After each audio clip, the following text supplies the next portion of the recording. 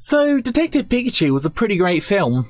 If you're um, a fan of Pokemon or Seth MacFarlane films like Ted, you'll probably love it. It was pretty light-hearted and quite a stimulating movie. Ryan Reynolds as Pikachu was fantastic. The movie was PG, but there was plenty to keep me entertained as an adult. So, synopsis of the movie Ace Detective Harry Goodman goes mysteriously missing, prompting his 21 year old son, Tim, to find out what happened. Aiding in the investigation is Harry's former Pokemon partner, wisecracking, adorable super sleuth Detective Pikachu. Finding that they are uniquely equipped to work together, as Tim is the only human who can talk with Pikachu, they join forces to unravel the tangled mystery.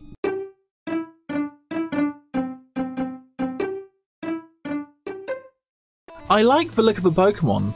It was still kind of cartoony and actually looked like real Pokemon. Uh, one of the problems I think with the Sonic movie trailer was that they tried and failed to make Sonic look more realistic. Pikachu was very cute and still looks a lot like Pikachu would in the cartoon. Spoiler alert, if you've not seen the movie, I highly recommend that you pause it here and come back and watch the rest when you've actually seen it, because there will be spoilers. Uh, there was some issues with the animation. I wanted to see Pikachu picked up and handled more. Pikachu and the other Pokemon lacked physicality, like they had been added to the movie with CGI. I mean, of course they had been, Pikachu spent most of the movie on Tim's shoulder, which is fine.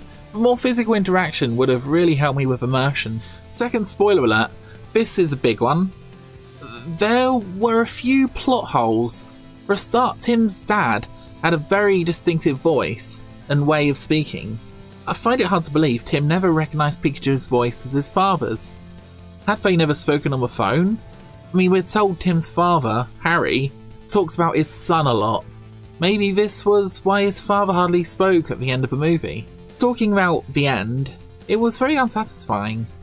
So Detective Pikachu, the character we all loved, turned into Tim's father and Pikachu's original personality reasserted itself.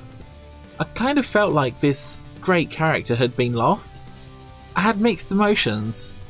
And the idea Tim would even consider leaving on a train after all he and his dad had been through, took some power away from the story for me. I also thought the giant Torterra didn't really add much to the story. Um, they were very dramatic and fun, and the CGI was good, but still, I would have really preferred if the movie had spent more time world building. The world building felt really rushed. We get to see a few Pokemon putting out fires or helping the police in adverts, but I wish they had spent longer thinking about po how Pokemon and humans would live together. So, for example, would the trash be collected by Pokemon instead of humans? And maybe a Grimer? And maybe Magnemite could work at a car crashing facility, moving around with cars and components. Maybe grass type Pokemon could help with rubbish recycling. And maybe the water type Pokemon could help kids learn to swim or work as lifeguards. And maybe some Pokemon could be used as transport maybe some people could fly on the backs of Pokemon like Dragonite. Maybe fighting type Pokemon could help run a gym. The possibilities are endless, and it really would have been nice to see how the how Pokemon and humans would actually interact in a city. I mean, we got quite a few Pokemon walking around the streets and doing various tasks, but they kind of didn't really feel like they were in the same world, you know? For, for me, the CGI kind of stuck out a bit too much, you know?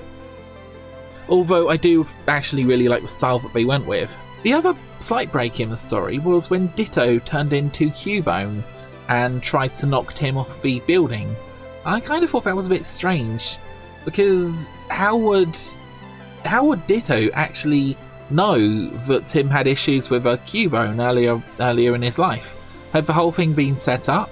Was Tim some kind of pawn in a bigger game or something.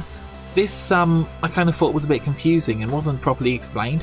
It might have made a bit more sense if Tim had actually had some problems with Cubone, which he had kind of talked about, which could have been one of the reasons why he didn't actually become a Pokemon trainer. But this isn't really discussed in the movie, perhaps this was cut.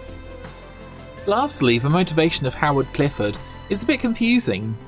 It wasn't really obvious why he wanted to put human souls into Pokemon's bodies using Mewtwo's power. The movie could have explained his motivation better. I would have also liked if a movie had been a bit longer. A few scenes without any humans would have been great, exploring the Pokemon's role in the city better. Overall, I really liked the movie. It was nostalgic, it was fun, it was um light thanks to the dialogue from Ryan Reynolds. Pikachu looked very cute. I hear there's a sequel planned, which will expand the Pokemon world, which will be fantastic. I guess you guys have already seen the movie, but if you hadn't, then I would recommend you go to the cinema and see it. Um, CGI wasn't mind blowing, but heck, it was really fun. It was cute. I, I, I really enjoyed it. Overall, I give Detective Pikachu a 7 out of 10. I liked the animation, I, I liked the movie overall. It kind of, like I say, felt a bit rushed, but generally it was great. Uh, what else can I say?